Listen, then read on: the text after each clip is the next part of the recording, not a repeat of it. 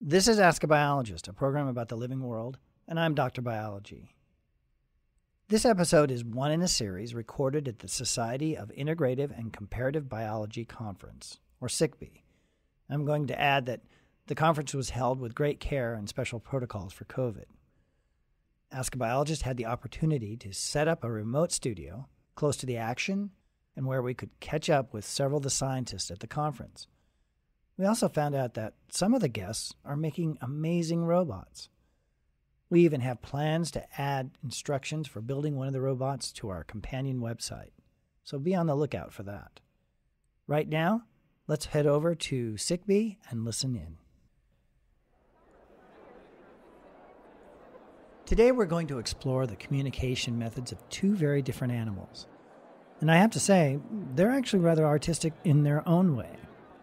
One of the animals is a cricket that uses song to attract mates, and the other, a tiny shrimp that uses glowing signals to find their partner.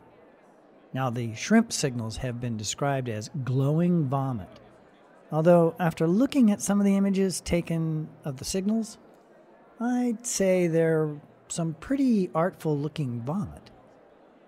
These two animals are study subjects of biologist and postdoctoral fellow Niko Hensley. Let's see if we can get the story behind these two animals and what links Niko has had to go in order to collect his data.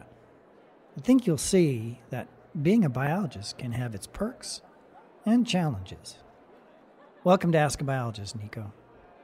Uh, thank you for having me. What a perfect topic for a podcast the evolution of communication. And well, this is one of those, I suppose, if you think about it. Uh, podcasts have become incredibly popular these days, but we're not really talking about the same kind of communication in this case. So tell me a little bit more about how you're going about your study. That's a good question. When I think about communication, I'm always trying to think about how two parties are trying to send information to each other, right? So, right, like you said, that's definitely what we're trying to do in a podcast, but I'm more interested in how the natural world is really trying to achieve that same goal. We have lots of different organisms in the environment trying to send information to each other, to trying to accomplish certain goals like finding a mate or finding food. And so organisms have evolved these complex systems in order to send that really important information to each other. So you talk about organisms, and we're animals, so we have a tendency to only think about animals. Do we also think about plants communicating? Yeah, I think one of my favorite examples is like fruit, right? We eat fruit all the time. How do we know if fruit is right for us to eat at that time? We look at its color, we look at its smell, but that's a communication signal that plants have evolved to tell other animals like bats or birds or rodents I'm ready to eat, please eat me. That way, those animals can spread their seeds. So, like when an apple is red and ripe, or when you smell that banana smell, like those are signals that we pick up as animals that the plants are sending to other animals in their natural world. Ah, okay. Do you work on plants? I don't actually. That was just one of my favorite examples. so, what animal do you work on? Yeah, I work on, uh, it sounds a little cheesy, but I work on the bioluminescent mating signals of Caribbean shrimp. And I also work on the songs of Hawaiian crickets. So they're very different animals, but they have very common goals. All right, let's start with first your bioluminescence. So let's talk about that in particular. So we're talking about animals that make a particular kind of chemical that allows them to glow. Right. right? Fireflies, right? Yeah, the most famous example of right, fireflies. Fireflies, right. And jellyfish? Yeah, jellyfish, some jellyfish. Okay, so let's talk about your shrimp. Okay, so we actually like to call them sea fireflies. They're not like fireflies that you find on land, they're not insects at all, they're shrimp. But we call them that because of how similar their bioluminescent signals are. So in the Caribbean, these species only live in the Caribbean. There are about a hundred of them. And at night, on moonless nights, when the water is calm on coral reefs and seagrass beds, you'll have males swim up into the water and they'll start to actually vomit up little packets of glowing spit into different patterns. And those patterns kind of look like you can think of it as like a, an airplane runway, all the lights that allow the plane to land So they vomit it up into these little different patterns, and then the females are swimming around in the water and they're actually following these trails of light in order to find the males. And every species in the Caribbean, they have their own different pattern. And so one of the big questions that we're trying to ask is why are these patterns so different across all these species? So there's about 70 to 100 species. Most of them are very undescribed. They're not very well known because you have to go out at night, you have to go scuba diving at night with no lights. Um, you have to catch them when the moon is really low. So you're kind of like out in the dark in the water uh, alone. um, and so uh, in order to see this event and actually record these behaviors, you kind of have to like get out there. And we're really interested in understanding why these species have all these different patterns that they produce. Wow. Out scuba diving at night in the dark. Yes. Okay, I hear the little sound in the background and I think of Jaws, you know. Yeah, exactly. so we did for my PhD, um, which I just finished in 2020. That was maybe about five years worth of just like getting in the water and turning off all the lights and seeing what's in the ocean. Well, and you know, I'm teasing about sharks, and we actually just had a podcast with a really well known shark expert, Jim Sulikowski. And one of the things we're talking about is sharks get a bad reputation. Mm-hmm, I mean, mm-hmm. They're so important, and the likelihood of having a problem with a shark is far less than getting, as we know, struck by lightning. Yeah. All right, so you are working on shrimp. They have bioluminescence, but it's, as you described it, vomit Yes. bioluminescence. Yeah. Okay, and to make that even a little more unusual is we're talking about vomit in particular patterns. Yeah.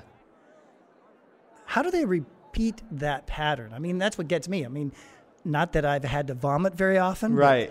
I don't think I've ever had the same pattern twice. Yeah, that's that's a really good question actually because these patterns that each species produces are really repeatable. We find that each species is like very tightly controlled on the pattern they make and they don't overlap well with other species. So it's pretty specific for each one. And so the control of that is really part of the question. And the answer, I think, right now, this research is still very much in its infancy, is we don't have an exact answer. We don't really know, but it's definitely a current line of investigation. But I think one thing that might be helpful to understand is that when we say vomit, these animals, they actually have a very special organ that controls how they produce and release this bioluminescence, right? We call it vomit just because it, it's like the most analogous thing that humans can think of. You might also think of it as like sneezing. They have a big organ above their mouth, and it's in that organ that they store all these chemicals. So they store this protein called luciferase, and then this really high reactive kind of vitamin called luciferin. And they store it in these separate compartments. And so they have two compartments that keep those things separate. And then when they sneeze it out into the water, those two things mix. And when they mix, that's when the enzyme can degrade the vitamin and that will produce light. And so that's actually when you get this reaction to make all this like brilliant blue light in the water. So that's the triggering mechanism. Hmm. Yeah. And so this is necessary for them to mate. Right. Well, so we don't know that it's necessary per se for them to mate. We do know that the males use it to attract females. So these animals, let me give you a little more context on these animals themselves. These animals, unlike fireflies, fireflies, they're not huge insects, but you know, they're a few inches long at the most. Our shrimp that we study, they're about the size of a sesame seed. So they're very, very, very small. And they're a really small animal living in a really big world. Because they're so small, they have really tiny eyes. And so they have tiny eyes. That means they can't see very well, especially if you're trying to find a visual signal. So it needs to be really bright, it needs to be really obvious. So these females are swimming around in the water, and these males produce this really, really bright light with these stereotyped patterns for the females to be able to like consistently follow. They also only do it at night when it's darkest. So even if there's about a little over, I think about 5% of the available light in the environment, they won't make their signals at all. So it really has to be quite dark. They're trying to maximize their ability to find mate. Got it. Got it. So, uh, you know, a full moon, no way. Right, exactly. Yeah, got it. Hmm. Yeah, I just hadn't even thought about it. And then when we talk about communication, again, we get really biased. We think about you can talk, you can uh, sing, you can write, you could draw, you could paint. You know, we think about those things. but we're not really thinking about bioluminescence. We're not really thinking about having to be really particular about when you do the communication. Hmm. Okay, so that's one of the animals that you work on. You mentioned crickets, Yes. Hawaiian crickets. Yes. There's a biologist I had by the name of Marlene Zuk, Okay. And there's a episode called "Strange Cricket Silence." Okay. And uh, again, it, it- there it had to deal with parasites, Right, right. and uh, it's that kind of world. There, you want to, you know, the idea of parasites and zombies and the other things that get us all interested in what's going on in the animal world. What's the story with your crickets? Yeah, so I'm very well aware of the famous Hawaiian crickets that have lost their singing. I work on a completely different group of crickets. A lot of people think that all crickets are the same, but they're not. Um, uh, in fact, you know, crickets can be just as different as we are to like horses or something like that. They can be very, very distantly related. And so I work on these Hawaiian swordtail crickets, and these are small flightless crickets. They're endemic to Hawaii. They don't live anywhere else in the world. And the really cool thing about these crickets is that they are the fastest radiation, that is, there are many, many, many species in a very, very short amount of time for any invertebrate known in the world. So they only live in the Hawaiian Islands. There's about 40 species, and all 40 of those species have evolved on those islands since the islands came into being, which is just a few million years. And so it's a little hard for people outside of biology to imagine, but usually we think of species as kind of like accruing slowly over time. And in these Hawaiian Islands with these crickets, there's many of them very, very quickly that have happened. And we think that's primarily because of how they can talk to each other. And so the females are listening for the males to sing. We all know crickets sing these lovely little songs. And our crickets in Hawaii, they sing a very, very simple song. And the only difference between the species is that they sing their songs at different rates. So some sing fast and some sing slow. We think that the females are choosing different songs based on how fast they sing them. And that's really what's caused the different species to branch out. So you talk about rapid change in mm-hmm. evolution, mm-hmm. right?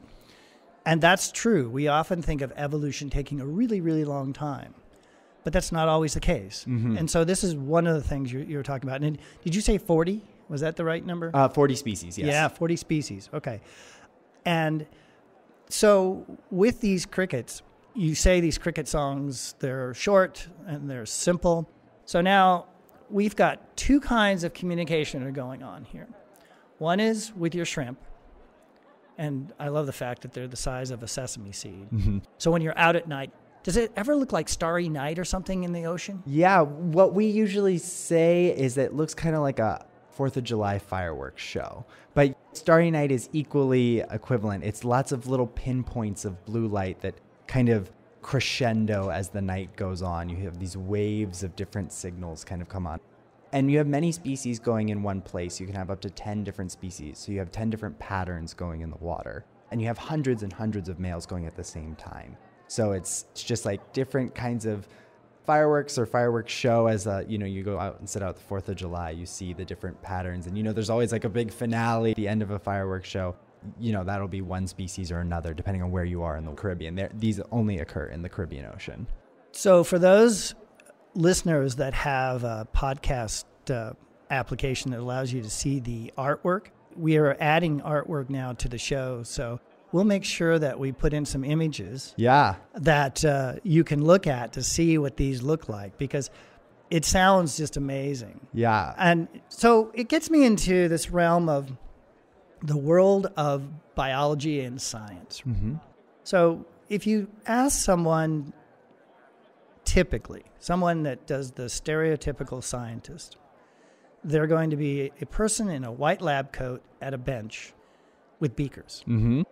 What they don't understand is that being a biologist, one of the perks is travel Mm-hmm. and travel not just to normal places, to exotic places, and doing things that aren't the norm.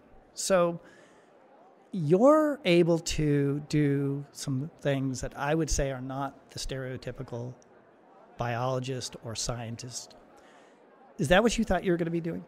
Yeah, I think one of the reasons I got into this kind of biology, evolutionary biology specifically, is because I was able to do things outside the norm. I loved being able to go into the natural world and see organisms existing in the place where they're supposed to be. I mean, I grew up going to zoos as a child and I, loved seeing the animals there, but being able to go into the world where they live and kind of experiencing their own habitat, their own realm, and trying to get your brain and your mind in their position to ask questions about like well how do they see their world? And how are they solving the challenges that we think about as challenging for us all the time like in communication? And really trying to figure out those questions. You have to go there. You have to understand really deeply their natural history. And this kind of job really gets you to be able to do that.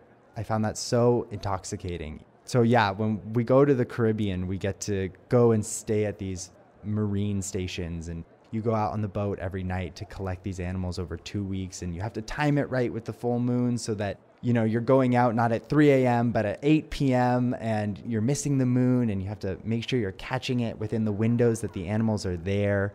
So it's very challenging in that regard logistically but also like intellectually challenging and i find that really i don't know it's just it drives you to do it all the time. It's so motivating. I think one of my favorite things or my favorite anecdotes of doing this kind of work is I had to do field work in Belize for a month and I was staying with a collaborator who was on sabbatical there. And we decided that it was just more economic if we stayed on a small island, but this island had no infrastructure. And I, I actually mean no infrastructure. There were no buildings on the island. No, no power. Nothing. No, certainly no power, but like there was one wooden house and so when I arrived on the island, I didn't actually have a place to sleep. And we had to build the structure that I was going to sleep in and perform all my work in while I was there before I could start anything. Like we had to import the materials, we had to nail it together with corrugated roof.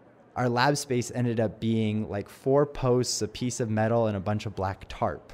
And that was where I did all my experiments for that month, you know? And I had to bring in camera equipment and build tanks to capture my animals in. And it's kind of like uh, the woodsman's version of doing science compared to like a very sterile, clean lab environment. But it presents its own challenges. And of course, being there, you got to see the animals in their habitat and like you're able to refine the questions you're asking because you're trying to understand where they are and what they're doing when they're there.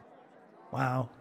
So, did you have carpenter skills Oh no, and I certainly don't now. I mean, it wasn't it was not like well put together, but it sufficed, right? And just like in evolution, like it doesn't need to be perfect, it just needs to get the job done. right. And you can refine it later if you need. Exactly. And of course, we had carpenters, assistants, and I was not doing this alone. I certainly couldn't. But it's so amazing being a biologist, all the skills that you have to pick up on that you don't think are associated with science, you know, like carpentry or video editing or all these things that you never knew you needed to know in order to get your science done. There's a wealth of skills, there's a lot of hats to wear. Absolutely.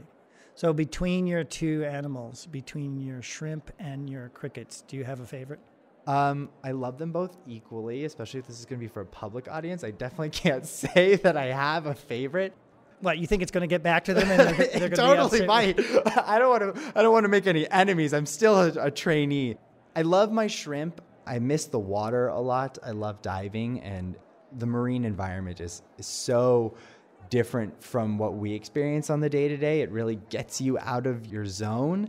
And so just being able to get in the water and kind of like that weightlessness and seeing a, an alien world, even though it's not alien at all, it's 70% of the planet that is really amazing. But my crickets are wonderful because their songs are beautiful and also you get to work in the middle of the day, which is very novel. Most of my PhD, I had to be very nocturnal. My animals are nocturnal. So it's nice to be able to go to bed when the sun is down and not have like a completely reverse schedule. Yeah, no, I can imagine. So, Niko, did you learn to scuba dive before you became a biologist, or was it uh, yeah, it was it. it. was part of the skills I had to pick up as a biologist. Actually, I joined a, a, lab and I didn't know what organism I would be working on. And my PhD advisor said, "You know, we're starting this project on these sea fireflies. They're in the ocean. They're in the Caribbean. Do you want to work on this?" And I took the opportunity and in order to really sink into that research i had to learn to scuba dive and get scientific certified which is another certification above your normal certification safety diving which is another certification above that so there were lots of layers of training that had to go in just to be able to accomplish the work and i was really fortunate to be at a place where that was easy because scuba diving isn't necessarily the most affordable or amenable kind of skill that you have to pick up and I was in California on the coast. So we were at a school that was well equipped to be able to do that. The work would have been much more challenging to accomplish otherwise. But yeah, I had to I had to learn to scuba dive. I had to learn how to build nets and catch these shrimp. I had to learn how to do so many things that I, I can't even list them all right now. But I'm sure any scientist, especially a field scientist, could say the same. Niko, you use the word we a lot, and quite frankly, I do the same thing but maybe not for the same reason. So, what's the we for you? The we for me is that I feel like all my efforts as a scientist are really in a collaboration with others. I think it takes a lot of people to make a little bit of knowledge to really understand the truths in the world, and no person does it alone. And so I really like to give credit and attribution where it's due. And I have so many people to thank. So I use we as an honorific to really understand that it's a process that we are embarking on collectively. Right. And it's no longer the, the lone scientist in the lab. Right. Uh, it is highly collaborative and mainly because the problems we're facing these days are very complex and growing even more complex each day. Right. And uh, it takes more scientists, more minds thinking about it uh, to find out what there is that we have not yet discovered. Right. And I think one of the really important parts about that collective effort is that like you get really diverse opinions, right? Not everyone thinks the same way. Um, and so you can get really different perspectives on the same problem. And you never know when that's going to provide a really transformative solution. And so having a collective knowledge in a group and really trying to gather information from different diverse perspectives is really important in order to problem solve we can see that it helps problem solve and troubleshoot much faster and much more creatively. And so, yeah, I say we because I'm really interested in making sure we have those diverse perspectives. Well, this is leading me into there are three questions I always ask my scientists. Okay. So, this is a perfect time to ask them. Was there a point in your life, or I often say an aha moment, when you said, I want to be a biologist or I want to be a scientist? Um, I knew I wanted to be a scientist when I was about five or six, and that has always been the goal. I think that was largely inspired by the Magic School Bus and Bill Nye being on TV all the time. I mean, it made science seem very fantastical, which it is. It's just not exactly in that shape. Uh, I played a lot of Pokemon as well as a younger child, and I think collecting animals was very inspiring. So I think those things melded in my brain to make me want to go out and study animals. So I knew maybe at five or six that, yeah, I want to be a scientist. I just didn't know how to be a scientist. And so that was more the process was to discover how to get into science. But hmm. it's always been there, that intrinsic love of the natural world, I think the next question is where I get to be a bit on the. Well, sometimes I say it's mean, and sometimes I say I'm just being mischievous. Okay. Because I'm going to take it all away from you. Okay. You can't be a biologist, scientist. I'm taking away your science. A lot of times, my scientists have gotten hooked on teaching because okay. a lot of us love teaching. Yeah. So I'm going to take that away because okay. I, I know that's sometimes where my scientists will go. Here you get to have a magical power to be anything or be anyone or do anything. What would that be if you're not doing your science? A magical power to do or be I mean, anything. I'm giving you the power. You're right. not going to have a magical power. Oh, oh, okay, okay. Sorry, to be clear, I was like, do I have to come up with an ability? No, okay, no, no, no. So You're just like rewrite history, but I've taken away the thing that you love, and I'm going to make you go for that second love. Okay, yeah. Great question. I think I would want to be a fiction writer. I, I loved reading as a child. I still love reading now. And I consumed a lot of fiction as a child. And I think the power to bring stories to people, also part and parcel to a scientific career, but being able to do that with your imagination is a wonderful gift to give to others. And it's also a type of communication in many ways. So I think being a fiction writer would be probably high on the list. You read my mind. I was going to say, let's talk about communication. Yeah. Absolutely. Is there a particular writer you like? Hmm. You know, I have a lot of fondness for stories from like fiction from the 80s. I was really fond of a book series by David and Leigh Eddings from the 80s. It was a guy finds out that he has magical powers and he has to save the world kind of story. And that was really popular. And I also loved Dune. Dune was one of my favorites as a kid. Yeah. And then, of course, the classics like Harry Potter. I guess that's more my generation. But yeah, I, would say those are the big ones off the top of my head. well, the last question I have is what advice would you have for the next generation of scientists that are coming up? What advice would you give them? Uh, yeah, this one is one I like to think about a lot because, as you said, teaching kind of becomes a large part of our experience as scientists. And I think one of our primary goals isn't just the development of knowledge, but it's development of the next generation of people who seek knowledge, right? Like the endeavor is to always be able to produce knowledge, but that's not a one person goal. So I think it's really important that we think about how to foster the next generation of scientists.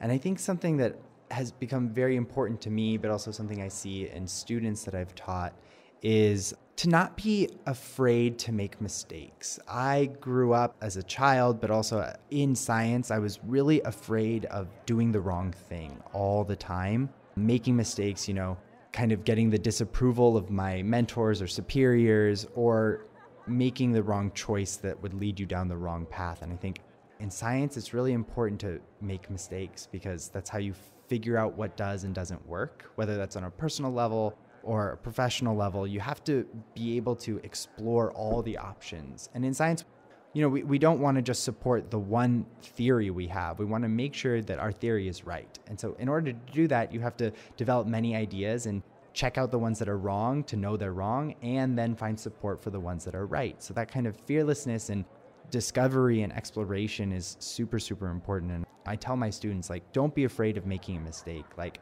never be afraid of asking a question that has an answer or that's wrong or that you think is wrong.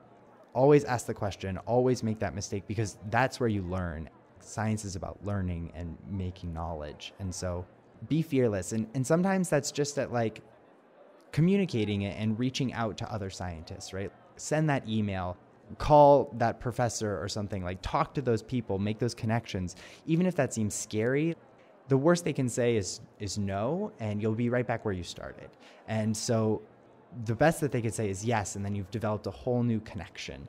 So don't be afraid to talk to those people reach out and seek new knowledge. I think that's the one thing that i found is really important for students. I love it. The idea that we're going to always get it right the first time that's wrong. It's wrong. so, so the idea here is if you never want to make a mistake, you'll never do anything. Yes. I love that advice. Now, Niko, I want to thank you for being on Ask a Biologist. Thank you very much for having me. You have been listening to Ask a Biologist, and my guest has been biologist and NSF postdoctoral fellow Niko Hensley. As a reminder, we've started adding images to our chapter sections on our podcasts. If you have a player that supports chapters and pictures, we've added some images that we talked about in this show, so check them out. The Ask a Biologist podcast is usually produced on the campus of Arizona State University and is recorded in the Grassroots Studio, housed in the School of Life Sciences, which is an academic unit of the College of Liberal Arts and Sciences. But for this show, we're at the annual research conference for the Society of Integrative and Comparative Biology, also called SICB. And remember, even though our program is not broadcast live, you can still send us your questions about biology using our companion website. The address is askabiologist.asu.edu. Or you can just Google the words Ask a Biologist. As always, I'm Dr. Biology, and I hope you're staying safe and healthy.